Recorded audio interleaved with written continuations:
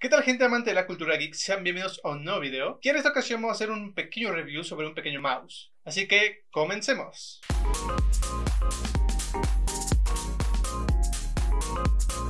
Y el mouse que les vengo a dar es este pequeño amiguito que tenemos aquí. Es el modelo A2 Wireless. Y este pequeño amiguito viene en su caja, que es esta que tenemos aquí de este lado. Como pueden ver, bastante simple, bastante sencillo. Es una caja bastante simple, pero eficiente para que viene.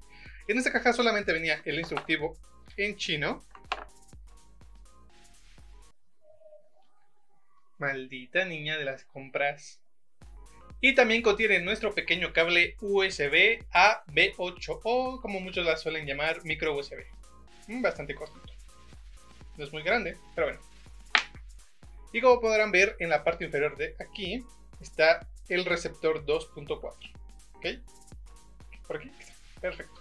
Y tiene medidas bastante aceptables, siendo 2 centímetros de largo, bueno, de largo, 6 centímetros de ancho y 2.5 centímetros desde la parte gordita hasta la parte inferior, siendo 1.5 en la parte de los extremos, con un peso de 125 gramos. Tiene una batería de aproximadamente 500 mAh. Digo aproximado porque el fabricante no nos especifica realmente de cuánto es, pero podemos calcular esto viendo unos modelos bastante similares que están por ahí en el mercado. Esta batería nos da una autonomía de 7 días con el modo RGB, el cual no se puede programar. Tiene el modo normal, o sea, si el RGB nos puede alcanzar a durar hasta unos 19 a 20 días aproximadamente. Este se va a cargar en un lapso de 2 horas a 2 horas y media. Esto obviamente conectado a tu ordenador mediante el cable USB B8.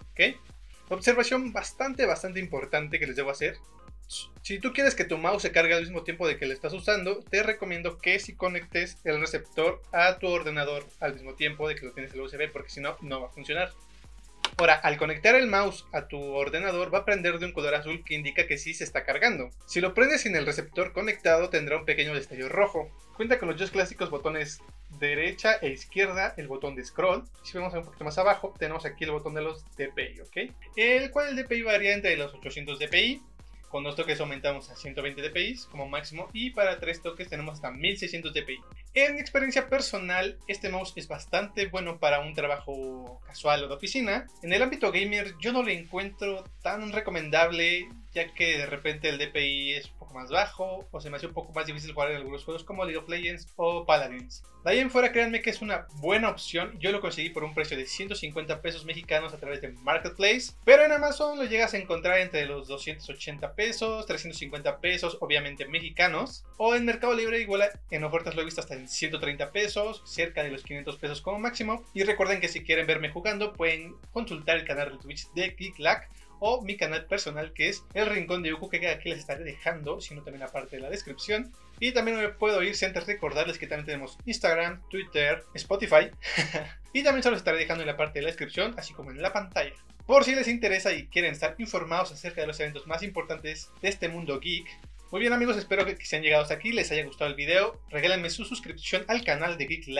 Regálenme ese me gusta, comenten qué les pareció, si ya tienen unos parecido y nos vemos en el próximo video. Los amo, bye.